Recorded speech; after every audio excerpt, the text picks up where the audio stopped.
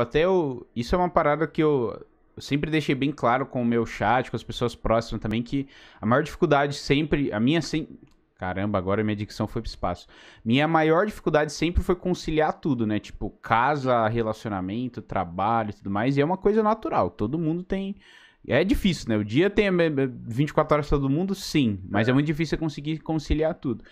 E recentemente, cara, o que tá me fazendo bem pra minha mente, por exemplo, eu trabalhar ali até 7 e meia, 8 horas ali mais ou menos, que é a hora que minha mulher chega do serviço. E à noite, cara, eu tiro pra tirar com ela, pra gente fazer as coisas em casa, sabe? Pra gente ficar juntos e tudo mais. Então, assim, acorde lá cedo e até.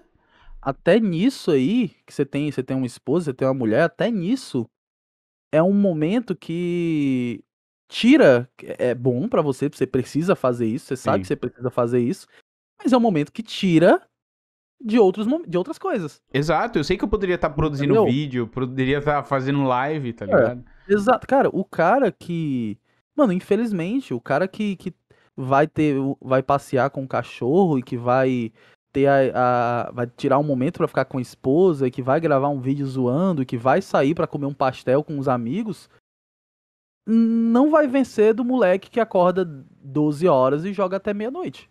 Exato. Dorme, acorda e joga 10 horas até meia-noite. Não vai vencer. Infelizmente, cara. Agora sim, e quem são, é mais feliz escolhas, dos né, dois, uhum. quem é mais feliz dos dois, é, aí a gente não sabe. Mas no, no, joguinho ali não vai vencer, não. Pode ter certeza. Total, eu acho que assim, até tu falou agora, não sabe, não sabe quem é mais feliz. Eu acho que os dois são felizes da sua maneira, né? Porque são etapas diferentes. Tipo assim, igual eu falei.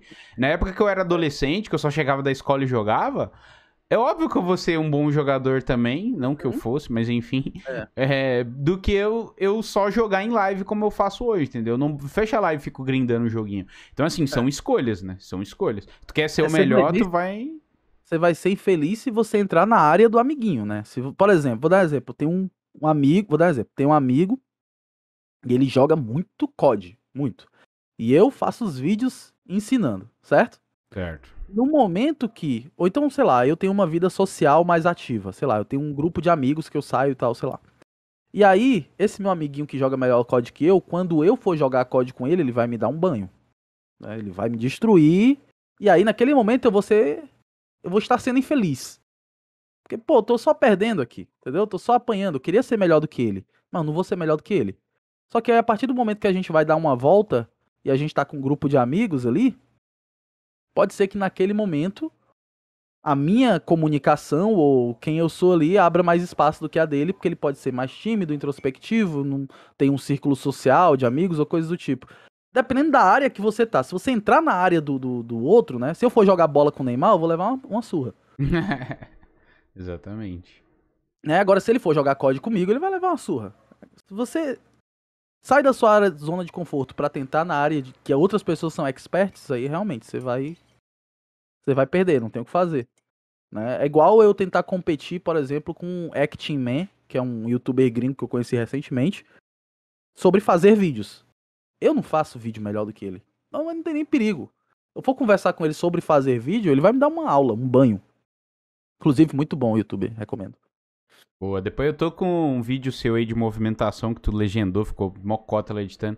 No meu assistir mais tarde, tem um tempo já, mas eu quero pegar pra assistir. Porque eu vi tu comentando no Twitter e tal, e tem muito conteúdo gringo bom que a galera não assiste, né? Porque não tem conhecimento do inglês e tal. Muito bom. Inclusive eu legendei aquele vídeo inteiro porque eu podia só fa tentar fazer um vídeo do meu jeito, falando da mesma coisa. Só que existem materiais que são perfeitos, que são, são muito bem feitos. Sim. Quando um vídeo é extremamente bem editado, não significa que ele tem efeitos demais, significa que ele é on point. Tudo tá na hora certa. Todas as edições, os cortes, os exemplos que ele dá, tudo é falado no momento muito certo. Eu achei aquele vídeo uma, muito perfeito. Então eu não iria fazer melhor. Eu sei, eu não vou conseguir fazer melhor do que esse cara. Então eu vou dar um. Vou fazer o que eu posso. Eu vou legendar e eu vou reagir a esse vídeo colocando algum comentário extra se precisar. Foi o que eu fiz. Justíssimo, justíssimo.